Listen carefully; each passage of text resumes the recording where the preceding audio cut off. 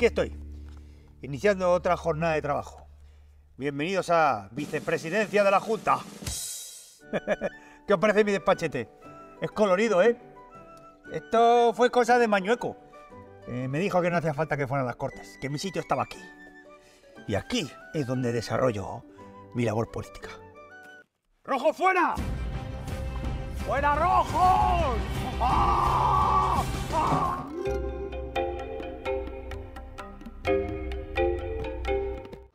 Este es un acto que se suele aprovechar por los actores o los directores de cine para ser muy reivindicativos, a mí me gustaría pedirles que este año aprovechen para ser altavoz de reivindicaciones reales y necesarias del pueblo español.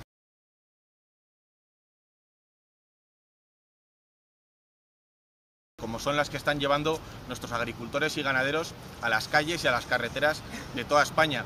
Como saben ustedes, si el campo no produce, la ciudad no come.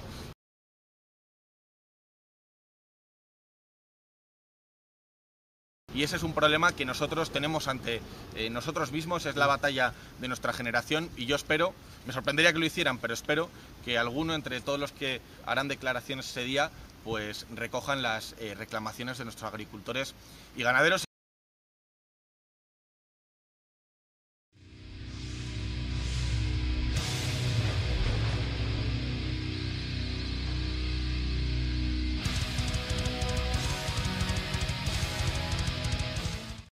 De como en otras ocasiones que hemos podido ver esas peticiones urgentísimas y de máxima actualidad como pueden ser pedir el fin del franquismo 40 años después de que falleciera Franco.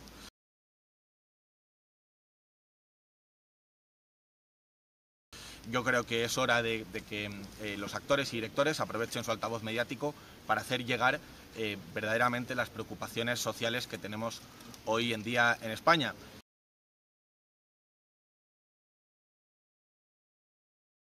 Y ya aprovecho también para decir que en los últimos días he escuchado a la élite mediática, a muchos tertulianos, eh, hablar de los agricultores y ganaderos como empresarios del campo o como señoritos.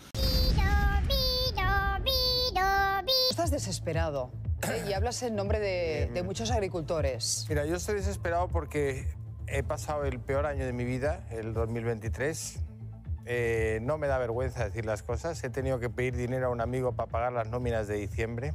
y, tú que llegas con el agua al cuello, eh, desesperado, ¿cómo estará el campo español? Ahí, está. Yo creo que los señoritos no son los agricultores y ganaderos de Castellón. Los señoritos son los que quieren vivir de producir obras cinematográficas que luego no ve nadie a costa de millones y millones de euros que pagan con mucho esfuerzo los contribuyentes españoles. Esos son los verdaderos señoritos. ¡Fuera rojos! ¡Ah!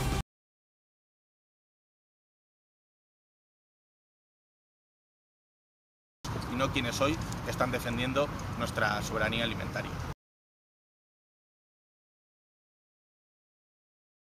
La ley de la cadena alimentaria se aprobó hace cuatro meses en el Parlamento con los votos a favor del PSOE, de Unidas Podemos y de otros partidos. Pero ¿saben quién votó en contra de esta ley?